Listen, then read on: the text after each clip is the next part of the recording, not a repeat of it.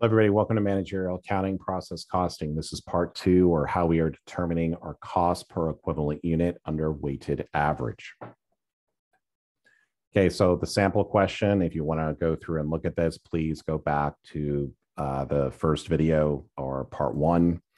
And remember, what we're trying to go through and do is we are using equivalent units to go through and determine um, how we're basically putting these costs over to our finished goods inventory. So our next stage over here is we're being asked to compute the cost per equivalent unit using weighted average process costing for direct materials and conversion for the month of November.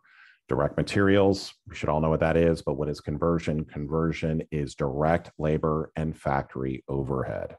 So let's go ahead and right over here. So in the last video we went through and did, we determined that we had a total of 330,000 units for direct materials, 328,000 equivalent units. This is my equivalent units under conversion. So what I'm now going to go through and do is I'm going to go over here and now say to myself, okay, I now need to come up with my cost per equivalent unit. Remember, what is our goal over here to do is we need to figure out how to move these costs over to finished goods.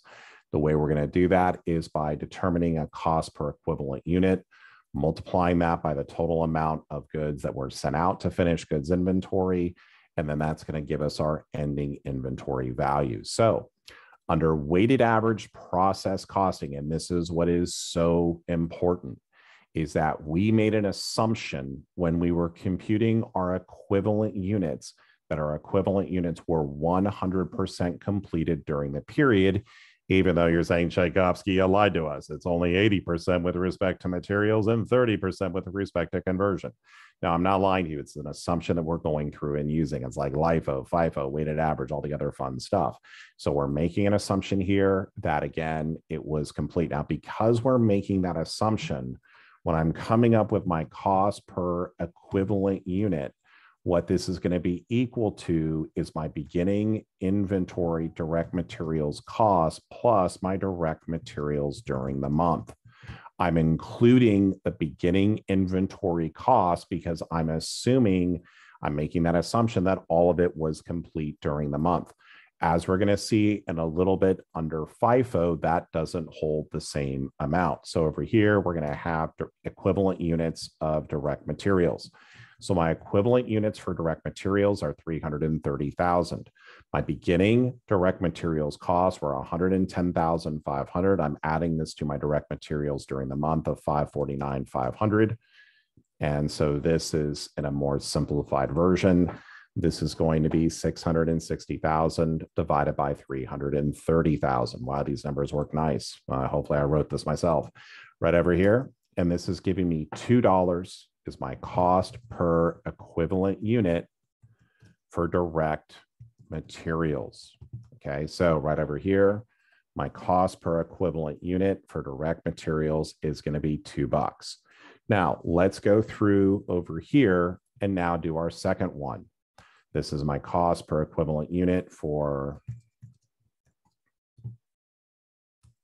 let's now do this for conversion, right? Again, what is conversion? Conversion refers to direct labor and factory overhead. So my cost per equivalent unit conversion, what is this going to be equal to? Well, this is going to be equal to my beginning inventory conversion cost plus my conversion during the month uh, good job on the English here, Tchaikovsky. Okay. I'm going to divide this by my equivalent units for conversion. Remember, we're trying to get to a cost per equivalent unit. My equivalent units for conversion are 328,000. And so right over here, what were my conversion costs? This is going to be 107,400 and this is going to be added to 483,000 or over here for a total of 590,400. If I'm dividing this over here by 328,000, we'll see what happens. And did I get this to work? Uh, wow, buck 80, that's exciting. Okay, so my cost per equivalent unit for conversion is going to be a dollar eighty. And again, why is it, why are we doing it like this, right? Because I made the assumption that my beginning inventory was 100% complete, even though it's giving me percentages that that was done. I'm including my beginning inventory costs in my equivalent unit calculation. So that is how we go through and compute our cost per equivalent unit for uh, direct materials as well as our conversion. And thank you so much here for joining me here today. Please leave any questions that you might have below. And I appreciate you liking and subscribing to these videos, and I'll see you on the next one.